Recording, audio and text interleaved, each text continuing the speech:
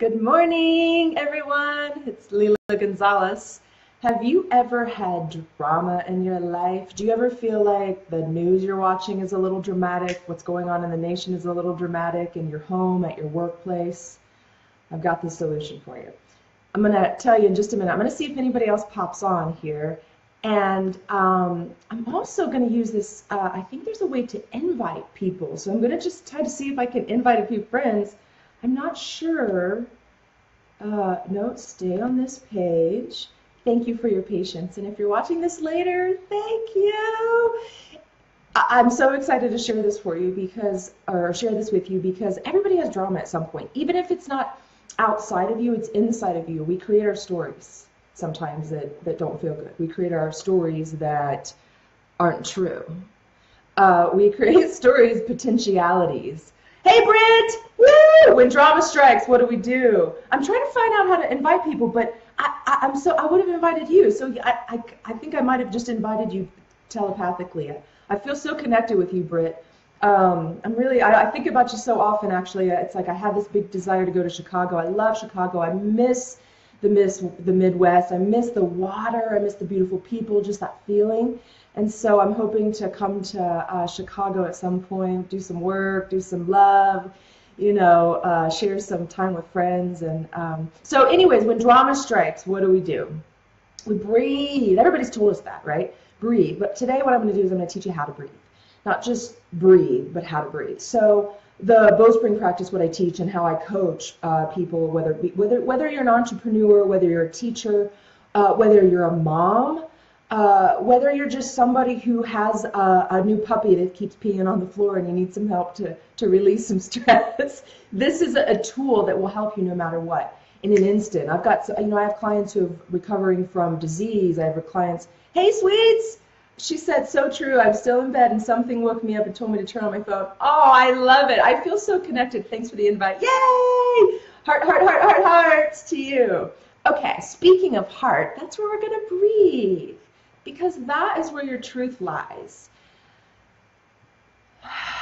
So you can just breathe, or you can we say breathe into your heart. So you can imagine just using your breath. I say use your breath to touch your inside space. So it might take you feel a few breaths to actually get inside your throat, down into your chest, right behind your sternum.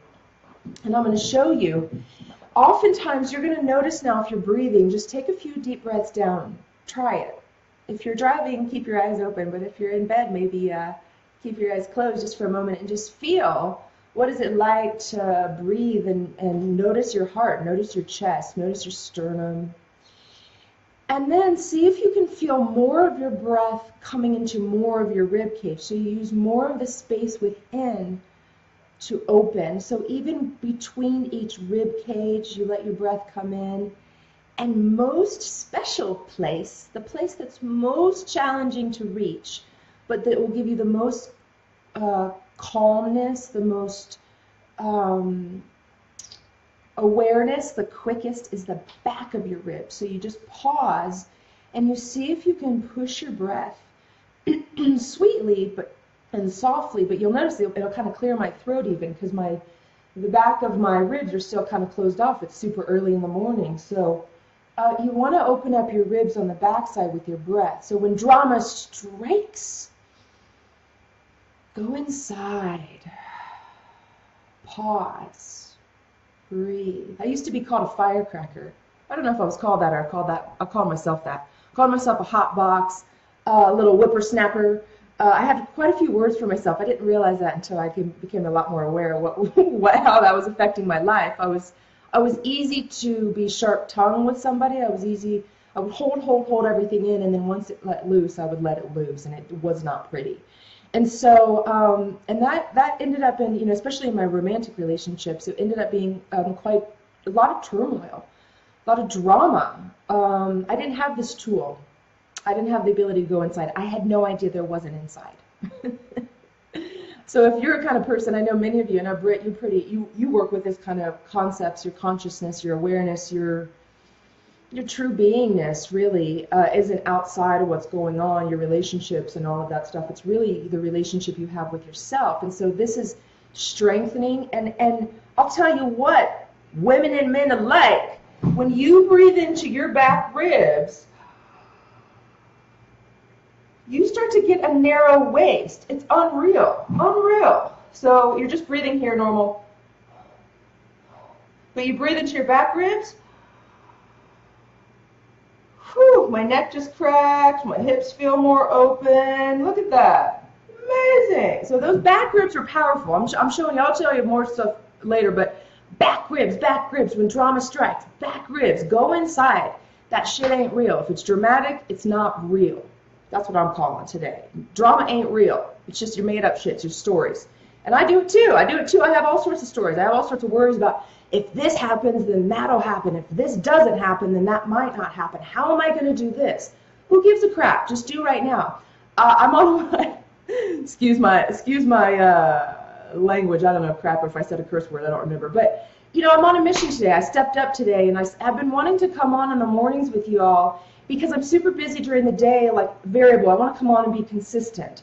And um, when drama strikes, so the drama for me in my head was like, oh, I want to do that. Oh, it's on my calendar. I wake up and I get shy and I don't do it. I get scared. It's just a drama. It's totally like my, my ego mind trying to create a story. So I got a, you know, I, I um, was on a, one of my coaches, Maria Andrews Buckley, she and this other woman, Chris, was on a call, uh, on a video yesterday talking about accountability partners. So Today, I have a daily accountability partner. When drama strikes, get help.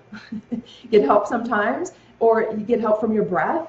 Um, go inside, same thing. It's like, what do I need? I, you know, I need some help. So I've got a woman in Michigan who, uh, near you, Britt, uh, who we're gonna, we talk every day now, five days a week, 5:45 my time, 7:45 her time. I'm a morning person. You can tell. I'm like, woo, up and at 'em. I love it. This is the time of day. I have another friend a colleague who's helped me out a lot with uh, systematizing my business, uh, Nancy Gaines, and uh, she asked recently my group, my group uh, business coaching program.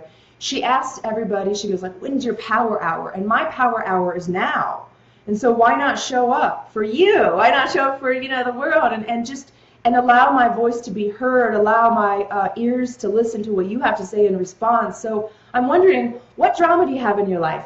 Let me know if you're using this breath uh, to to help at all. Like mm, I was actually talking to my accountability partner Elle this morning. I'm so excited about it. We just started. It went so well, and I'm already pumped. And and here I am. I'm up and at 'em, and you know it's super early. And it feels really good. I'm actually on a podcast in, in a half hour at 7 a.m. my time. So you can make shifts just by you know little things sometimes, and just getting an accountability partner really pumped me up. I can tell, but uh, one thing she said with the breath, she was recently at an event uh, about um, cancer, and one woman was talking about your digestion and how your breath is so important to your digestion because your digestion, your digestion is, um, it's like an engine. It's like a fire. You know, it needs oxygen to work, and if we're not breathing down into the the belly, down deeper into your di- uh, digestive system uh, so drama can strike in your belly too. Drama. A lot of people. My dad passed away from uh, digestive, you know, cancer two years ago, and um, and I know a lot of. I used to have digestive problems a lot, and I know a lot of people do because I talk to them. Uh, it hurts down there. You you can't go to the bathroom regularly, or you go in the bathroom. It's not like the way you want it to feel. Uh, there's all sorts of stuff going on down there, and it's it's usually stress related, not enough movement, not enough uh, lubrication, liquid, but also breath. There's no, there's nothing to light the fire. If you're putting meat on your on your belly all the time, the fire's going out, the fire's going out, the fire's going out. There's nothing to feed the flame. Feed the flame, brothers and sisters. Uh, yeah, so use the, this is going to help the drama within your body, the drama in your relationships. Um, your breath will help uh, waken you up energize you, bring that mind alive to what re- right now, what's really true, not that shit that's in your mind, not that, not the stories that hold us back from what we really want to do. Oh, I really want to do that. Really? Use your breath, make it happen, get your back body alive. All right, I love you. I hope this was helpful.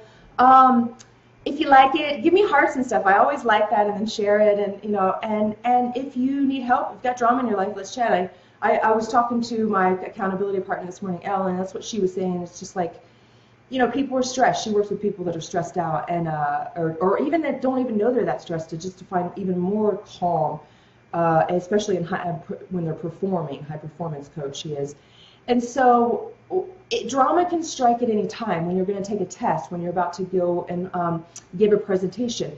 If you're an entrepreneur, if you're about to um, meet with somebody who you want to offer something to, your service, your product, um, an opportunity, you want to partner with them, anything, the breath, the breath, into, go inside, get out of your head, get into your body, get out of your head, get into your body, get out of your head and into your body. Because you're not your thoughts. Okay? You're not your body either, but the body getting out of your thoughts will help you get so much more clarity, so much more confidence. You'll feel creative and, and you'll just and you'll be more warm to people. Nobody really likes to talk to anybody who's in the head too much. If you're thinking, thinking, thinking, you're not really, uh, you can't connect.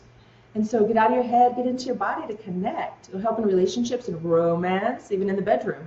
Get out of your head, get into your body. Try it out. Love you. My heart is radiating towards all of you. We're connected. Love you. Namaste.